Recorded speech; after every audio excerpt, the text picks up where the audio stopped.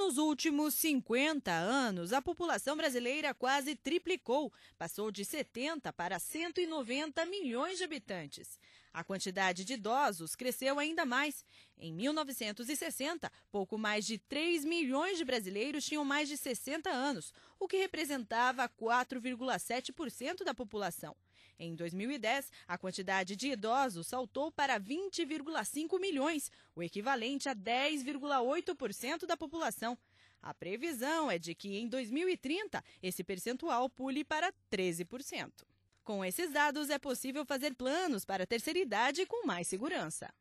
Bom, eu me preparo já, né? Desde agora eu já me preparo. Então eu faço é, pilates, eu estou fazendo RPG, eu me cuido bastante.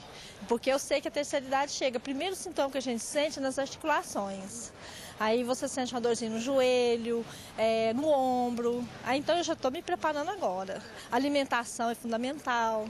Aí eu, eu pego todos esses pontos, porque hoje se fala muito, né? E vou me cuidando nessa parte. Olha, assim, eu tento cuidar, né? Que a gente tem medo, que eu já até comentei, a velhice chega para todo mundo. Então, comer um pouco mais de salada, fazer um exercício, porque dizem, não sei se é verdade ou não, que a salada, se você comer certinho, aumenta uns 10 anos de vida. Então, estamos tentando viver com uma qualidade de vida melhor, né? Viajando, eu quero estar tá viajando, só isso, assim. Quero parar com tudo, viajar e ter uma vida tranquila. Eu me imagino trabalhando ainda, muito ativo, praticando esportes. Eu imagino na terceira idade bem ativo mesmo, não, não deixando passar em branco. Envelhecer não é sinônimo de adoecer. É possível ter uma velhice saudável e ativa.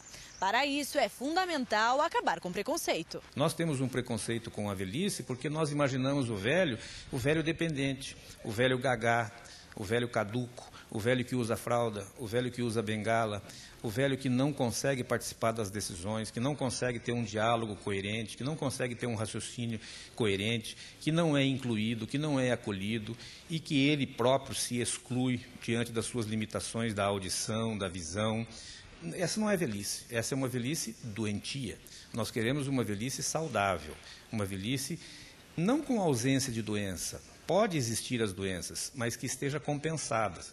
Então eu envelheço com diabetes, eu envelheço com hipertensão, eu envelheço com artrose, mas compensado, com o mínimo de sofrimento e com o máximo de dignidade. O preconceito muitas vezes é reflexo do consumismo da nossa sociedade. Não há dúvida.